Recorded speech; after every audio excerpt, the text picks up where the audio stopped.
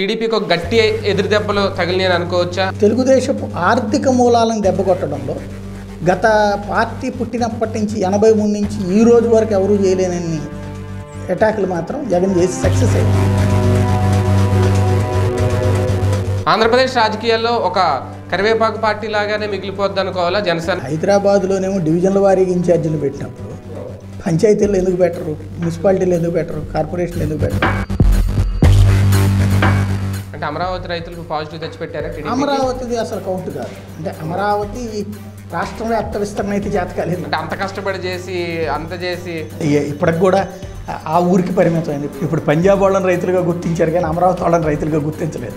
కానీ అడ్డుకుని TDP success అయింది అనుకోవచ్చేమో అమరావతి అనేటువంటిది మాత్రం తెలుగుదేశానికి ఇప్పటికి కూడా ఒక గుదిబండి అచ్చెన్నాయుడు గారిని అన్ని రోజులు జైల్లో పెట్టిన ఒక సాక్ష్యం కూడా ప్రొడ్యూస్ చేయలేకపోయారు. చేశాడా? తిన్నాడా? తినలేదా?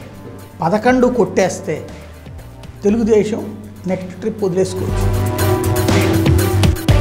క్యాబినెట్ పునర్వ్యవస్థీకరణ అనేది మరొక సవాల్గా మారే అవకాశం ఉందా? కరవమంటే కప్ప కోపం ఎడవమంటే పాము కోపం సామెతే ఉంటుంది. రెడ్డి సామాజిక వర్గానికి ఎక్కువ ఇస్తేనేమో ఓట్లు ఏమి రావు.